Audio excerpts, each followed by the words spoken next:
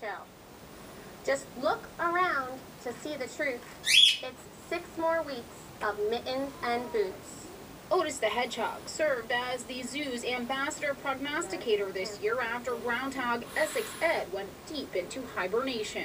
I believe Groundhog Day started in 1887, so we decided we were going to take and do a throwback back to what the original story was. And so that's why we used a hedgehog. Now, according to folklore, if the groundhog emerges from its burrow and sees its shadow, winter weather will continue for six more weeks. If not, warmer weather can be expected sooner. Yeah, we're, we're bright and sunny, and he clearly saw his shadow this morning. Because you said that we're going to have more winter. What do you think about that? Nice. You like the winter? Yes. All right. What do you think about it? I, I like snow, so yeah. Take your jackets off. You're not going to need them.